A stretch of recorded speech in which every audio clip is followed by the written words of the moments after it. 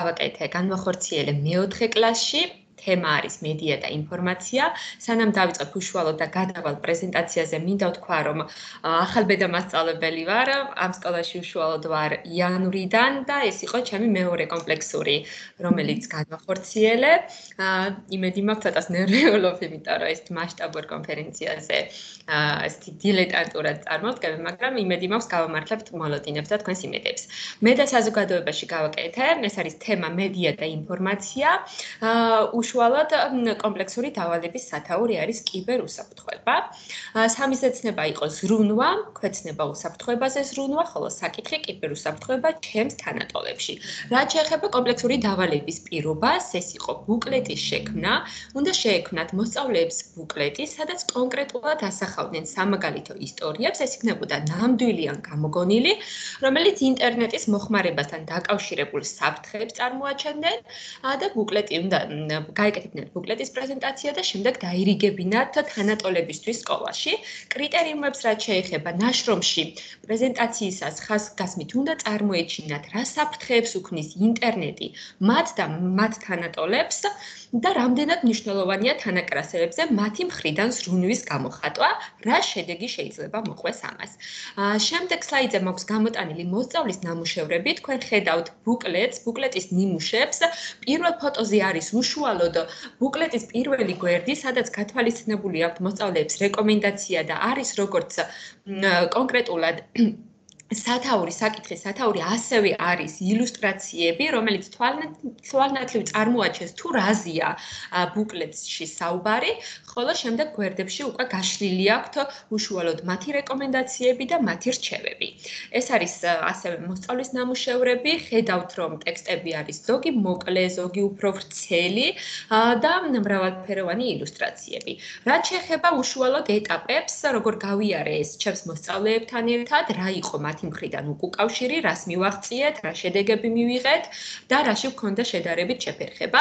სასწავლო პროცესის პირველი ეტაპი კომპლექსური დავალების ფორმა იყო, როგორ უნდა წარმოაჩინო საკუთარი ცოდნა შესასწავლ საკითხთან დაკავშირებით, რესურსებზე და აქტივობებზე გვაქვს საუბარი. პირველი რესურსი იყო ბუკლეტის ფოტო, რომელიც შევიტანე მოსწავლეებთან და მაპროვეცირებელი კითხვები.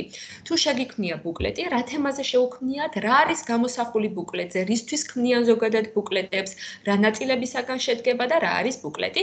მოსწავლეებისგან უკავშირი, რაც უფრო ჩვენთვის საინტერესოა, იყო ის, რომ გაიხსენეს ბანკებში უნახავთ ბუკლეტები, უფრო თვალსაჩინო ფერადები, მოკლე ტექსტები და ასე შემდეგ, ან ქუჩაში უნახავთ და მათგან ძალიან კარგი უკავშირი წარმოვიდა. ასევე ერთად ავაწყვეთ ბუკლეტი, როგორ შეიძლება და გაკეთილი ფურცლიდან იქვე შეგვექმნა და რა იყო ამის სტრუქტურა. შემდეგი მეორე ეტაპის მეორე ეტაპის პირველ ნაბიჯზე რესურსი და პირველი აქტივობა ის იყო, რომ მოსწავლეებს ჰქონდათ ესეთი დავალება, უნდა გაეკეთებინათ 3-4 დღის განმავლობაში დაკვირვების ცხრილი, მათ წარმოაჩინეს თუ რამდენ დროს ატარებენ კომპიუტერთან და ტელეფონთან, ინტერნეტთან და რისთვის იყენებენ ამას. იყენებდნენ ამას 3-4 დღის შემდეგ მომდევნო გაკვეთილზე ყველა ერთად თვალნათლივ გავარჩიეთ თითოეული მათგანის ნამუშევარი და გამოვკვეთეთ რისთვის იყენებენ, რამდენ დროს ატარებენ, რამდენად მნიშვნელოვანი ან დღის რა ნაწილში უთმობენ დროს ინტერნეტს და კომპიუტერს და ასე შემდეგ. ეს გვჭირდებოდა იმისთვის, რომ უფრო თვალნათლივ დაგვენახა და წარმოგვეჩინა მათი დამოკიდებულება კომპიუტერთან და ინტერნეტთან და შემდეგ ეტაპებზე რა საფრთხეებს უქმნის, რამდენად სწორად იქცევიან, რამდენად დადებითი შედეგები შეიძლება მოიტანონ მათმა ყოველდღიურმა ყოფამ, ამაზე უკვე შემდეგ ვისაუბრეთ. მეორე ეტაპის მეორე ნაბიჯზე პირველი რესურსი შევიტანეთ და ის იყო მეოთხე კლასის სახელმძღვანელო, სადაც რა საფრთხეებს გვიქმნის კომპიუტერთან ჯდომა, ამაზე იყო საუბარი, გავარჩიეთ გაკვეთილზე და მათგანაც იყო უკავშირი და ეტაპობრივად მივყვებოდით ამ საფეხურებს. შემდეგ ეტაპზე იყო რესურსი, რომელიც არის საქართველოს შესოს ვებგვერდი, დაიცავი საკუთარი კიბერუსაფრთხოება, რომლებიც გაკვეთილზევე გავხსენით დიდ ეკრანზე და გავარჩიეთ უპასუხეთ კითხვებს, რა უნდა ვიცოდეთ უსაფრთხო ინტერნეტზე და ამის კითხვები მოვიძიეთ ამ ვებგვერდზე, რა ზიანს გვაყენებს ინტერნეტთან ხშირად ყოფნა, რა რეკომენდაციები უნდა დავიცვათ და როგორ შეიძლება კომპიუტერი და ინტერნეტი გავხადოთ სასარგებლო.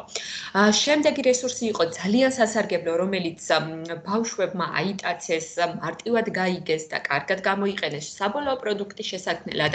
ეს იყო ტელესკოლა, ტელესკოლის ერთ-ერთი ჩანაწერი გაკვეთილი, რომელიც ტექნიკის უსაფრთხოდ გამოყენებას ეხება, ინტერნეტის უსაფრთხოებაზე იყვნენ. ბავშვებისთვის ძალიან საინტერესო იყო და ძალიან სასარგებლო, ხოლო შემდეგ ეტაპებზე იყო იდეების გენერირება მოვახდინეთ, უშუალოდ ბავშვებიდან წამოვიდა იდეები, რა, როგორ, რა შეიძლება გავითვალისწინოთ და რა შეიძლება პროდუქტში ჩავიტანოთ და ასე შემდეგ. ბუკლეტისთვის ილუსტრაციები შევარჩიეთ, შემდეგი იყო რომ თვითშეფასების კრიტერიუმების ბადე შევქმენით, ასევე იყო პროდუქტის შექმნის შემდეგ უკვე გაუმჯობესება, პირველი პროდუქტი შევქმენით იქვე გაკვეთილზე სკოლაში, ხოლო შემდეგ გაუმჯობესება მოხდა უკვე სახლში დამოუკიდებლად, საბოლოო ვერსიის შექმნა და დავალების წარდგენა. ეხლა რაც შეეხება უშუალოდ ბუკლეტებს რა აღწერა და რეკომენდაცია სამი მათგანი მაქვს გამოტანილი თქვენს წინაშე. პირველს ხედავთ ეკრანზე. აღწერა ეს იყო, რომ მოსწავლემ გაიგო დავალების არსი და შექმნა ბუკლეტი. დაცული აქვს მისი მახასიათებლები, ეს როგორც ვიზუალური ეფექტები, ილუსტრაციები, სათაური და ტექსტის შესაბამისობაში ერთმანეთთან, პრეზენტაციის დროს დაწვრილებითი საუბრა კომპიუტერიდან მომდინარე საფრთხეებზე და მის დადებით მხარეებზე. ყურადღება გაამახვილა დავალების კრიტერიუმებზე. და აღნიშნა თუ რატომ არის მნიშვნელოვანი თანატოლებზე ზრუნვა. კომენტარი ამ შემთხვევაში, ჩემი კომენტარი იყო შემდეგნაირი: მოსწავლემ სწორად გაიგო დავალების პირობა, შექმნილი აქვს ბუკლეტი, ზუსტად და გათვალისწინებული აქვს მისი მახასიათებლები, ტექსტები აქვს მოკლე, ინფორმაციული და გაფორმებული აქვს შესაბამისი ილუსტრაციებით. თუმცა ნაშრომში იქნება მხოლოდ იმ რესურსების გამოყენება, რაც კომპლექსური დავალებას, რაც კომპლექსურ დავალებაზე მუშაობის პროცესში შევიტანენ გაკვეთილზე და ახალი გენერირება არის შედარებით ნაკლები. რაც შეეხება შემდეგ ნამუშევარს, აღწერა არის ესეთი, რომ მოსწავლემ წარდგენისას იმსჯელა იმაზე, თუ რა და როგორ გააკეთა და რა გამოკვეთა, რაზე გააკეთა აქცენტი. ამ ეს მის განსახილველი საკითხის არსი, თუმცა ნაშრომში აქვს მხოლოდ რამდენიმე საფრთხე წარმოჩენილი და არ საუბრობს ინტერნეტის და კომპიუტერის დადებით მხარეებზე.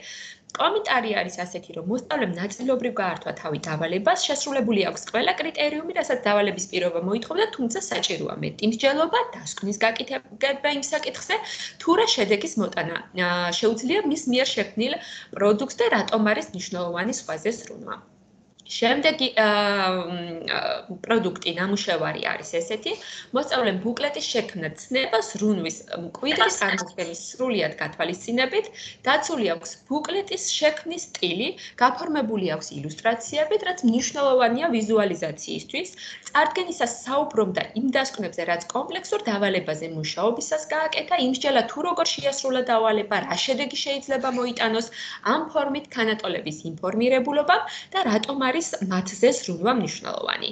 რაც შეეხება კომენტარს, მოსწავლემ პროდუქტი შექმნა ყველა კრიტერიუმის დაცვით და არაჩვეულებრივად გაართვა თავი დავალებას. ამ შემთხვევაში ჩემი რჩევა იქნებოდა სხვადასხვა ზომის შრიფტის ასოების გამოყენება, რაც მეტად შეუწყობდა ხელს ვიზუალიზაციას და უფრო დაინტერესებდა მის თანატოლებს. ანალიზ და დასკვნაზეც გავაკეთებ, გავაკეთებ მოკლე კომენტარს, რა უნდა მომხდარიყო, რა მოხდა, რა უნდა გაკეთდეს სამომავლოდ და რით შეიძლება აიხსნას სხვაობა მოხდარსა და დაგეგმილ შორის. რა უნდა მომხდარიყო ამაზე ვისაუბრეთ რაც ქონდა კომპლექსურის პირობაში და კრიტერიუმებში ჩამოთვლით რომ რა არის ბუკლეტი როგორ უნდა შეექმნათ რა კრიტერიუმები გაეთვალისწინებინათ? მოხდა ის რომ შექმნეს ბუკლეტი დაცული აქვს მისი მახასიათებები კლასის უმეტესო ნაწილმა გამოკვეთა კომპიუტერის და ინტერნეტის როგორც დადებითი ასევე უარყოფითი მხარეები. და ის რაზეც ვისაუბრე არის ის რომ ხშირად იგრძნობა უკვე შეტანილი რესურსების გავლენა და არა ახალი იდეების გენერირება. რა უნდა რით შეიძლება აიხსნას სხვაობა მოხდარსა და დაგეგმვის შორის. მსგავსი ტივის დავალება ბუკლეტის შექმნით იყო მათთვის პირველი დავალება და ამიტომ იგრძნობოდა ვფიქრობ იმ რესურსების გავლენა რაც მქონდა შეტანილი. ვფიქრობ მეორეზე უფრო მეტად მოახდენენ იდეების გენერირებას რაც შეეხება ან რა უნდა გაკეთდეს სამომავლო სხვანაირად. ვფიქრობ უნდა შევთავაზოთ ჩემი მსგავსი უფრო მეტი მრავალფეროვანი რესურსი უფრო მეტად უნდა ვიმუშაო მათთან ახალი იდეების გენერირებაზე და ვისრულო მეტაკოგნიტური უნარების განვითარებაზე. ეს იყო სულ იმ კომპლექსურ დავალებაზე ჩემი პრეზენტაცია, რაც განვახორციელე ამ კლასში, სადვარ მოვისმინოთ თქვენი კითხვები.